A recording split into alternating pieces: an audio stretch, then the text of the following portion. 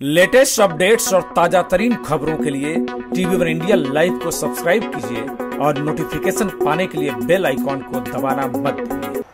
बाबा विश्वनाथ की इस पावन धरती पर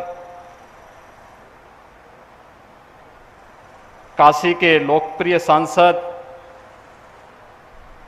देश के यशस्वी प्रधानमंत्री आदरणीय नरेंद्र मोदी जी का मैं प्रदेश वासियों की ओर से और आप सब की ओर से हृदय से स्वागत करता हूँ, अभिनंदन करता हूँ।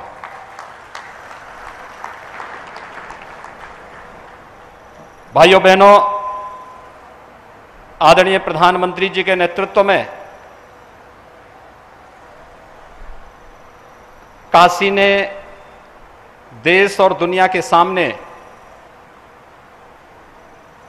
अपनी जो नई पहचान बनाई है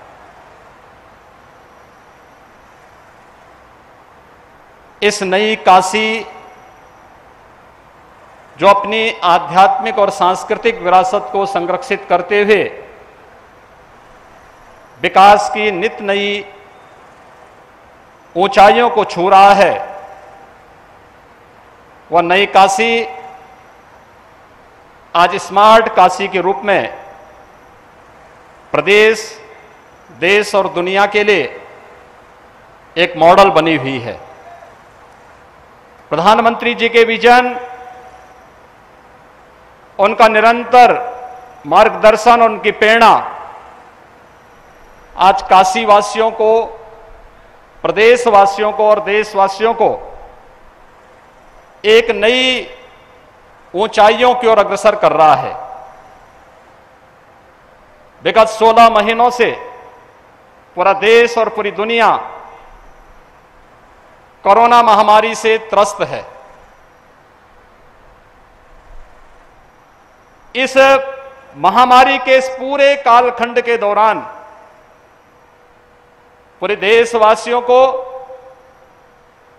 पूरे प्रदेशवासियों को जो योग्य मार्गदर्शन और नेतृत्व आदरणीय प्रधानमंत्री जी का मिला, दुनिया के तमाम देशों में न केवल उसकी सराहना हुई, बल्कि लोगों ने उसे आत्मसात भी किया। अपनी तमाम व्यस्तता के बावजूद महामारी के इस कालखंड में काशीवासियों के साथ निरंतर संवाद, काशी की निरंतर चिंता और काशी के विकास के इन सभी कार्यक्रमों को आगे बढ़ाने के लिए निरंतर प्रेरणा और मार्गदर्शन आज एक बार फिर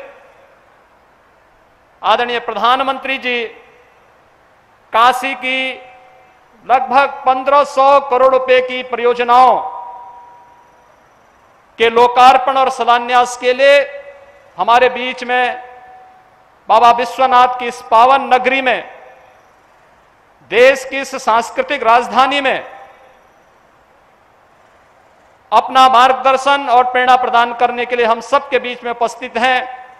मैं इस अवसर पर आप सबकी ओर से आदरणीय प्रधानमंत्री जी का हृदय से अभिनंदन करता हूँ, स्वागत करता हूँ। पिछले सात वर्षों के दौरान काशी में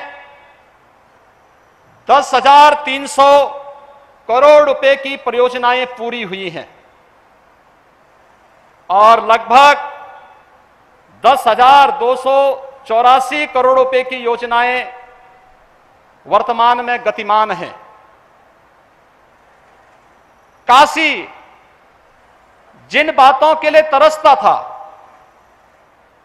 आज वो काशी अपने एक नए रूप में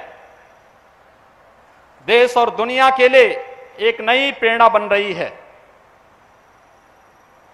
स्वास्थ्य का हो इंफ्रास्ट्रक्चर का हो, शिक्षा, पेयजल हर एक क्षेत्र से जुड़ी हुई इन परियोजनाओं का लोकार्पण और शिलान्यास का कार्यक्रम आज आदरणीय प्रधानमंत्री जी की प्रेरणा से, उनके कर कमलों से यहाँ पर संपन्न होने जा रहा है। अपनी तमाम राष्ट्रीय और अंतर्राष्ट्रीय व्यस्तताओं के बावजूद आदरणीय प्रधानमंत्री जी ने एक संवेदनशील जनप्रतिनिधि के रूप में देश के यशस्वी प्रधानमंत्री के रूप में अपना समय अपने संसदीय क्षेत्र के लिए निकाला और समय समय पर अपना मार्गदर्शन भी देते हैं। मैं इसके लिए हृदय से आभार व्यक्त करते हुए काशी वासियों की ओर से, प्रदेशवासियों की ओर से आदरणीय प्रधानमंत्री जी का आज के इस लोकार्पण और शिलान्यास कार्यक्रम के अवसर पर हृदय से स्वागत और अभिनंदन करता हूँ। धन्यवाद। जय हिंद।